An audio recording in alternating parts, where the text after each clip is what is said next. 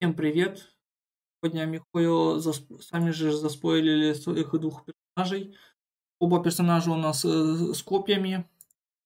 Первый у нас Юнцзинь, хозяйка, руководительница оперной труппы Юньхань. Гео, геоэлемент. Да? И нам известно, что она любит э, рок-н-ролл и часто выступает в чайном двору, на чайном дворе в Лиюэй. Другой персонаж у нас э, Шэньхэ.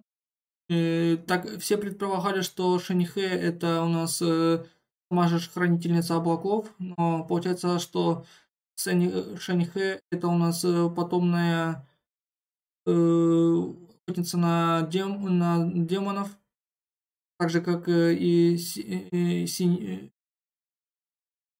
Юнь. Юнь. Она у нас из древнего рода экзорцистов, и получилось, что Хранительница облаков взяла ее под свое крыло, как и вырастила. Она точно так же с копьем у нас, криоэлемент. И самое что интересно, что это копье, скорее всего, будет у нее собственное. То есть баннер будет с этим копьем. Даже возможно, что она пятизвездочная, а и, и Юньцзинь будет у нас э, четыре, э, четырехзвездочная. Извест... Э, неизвестно, когда выйдут, но возможно, что это будет у нас два персонажа на Новый год. На китайский Новый год, так как э, очень похоже, как э, был у нас Сяо на прошлый Новый год. Всем спасибо за просмотр. Подписывайтесь на мой канал, посмотрите другие видео. До встречи.